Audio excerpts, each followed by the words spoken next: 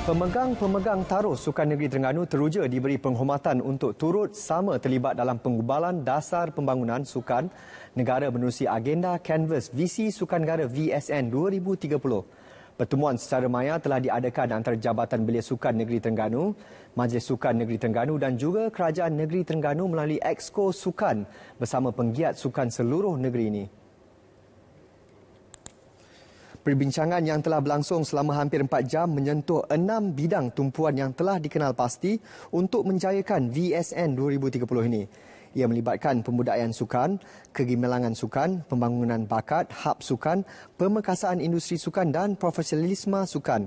VSN 2030 merupakan inisiatif baru yang dikelolakan oleh Kementerian Belia dan Sukan KBS bagi memastikan hala tuju dan perancangan pembangunan sukan negara dengan lebih bersepadu, komprehensif dan kolektif bagi tempoh 10 tahun akan datang.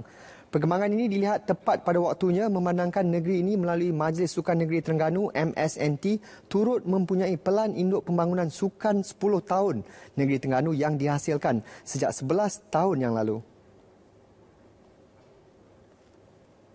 Mempunyai nilai pengalaman yang cukup tersendiri malah sudah tiba masanya bahawa nilai pengalaman ini akan didokumentasikan melalui pembentukan visi sukan negara ke arah pembangunan sukan yang lebih mampan pada masa akan datang. Ini adalah satu medium ataupun platform yang terbaik sebenarnya kerana pandangan uh, anda semua telah pun didengari bukan sahaja oleh kami di sini tetapi langsung ke peringkat rustia uh, di apa nama ni di KBS sana. Alhamdulillah.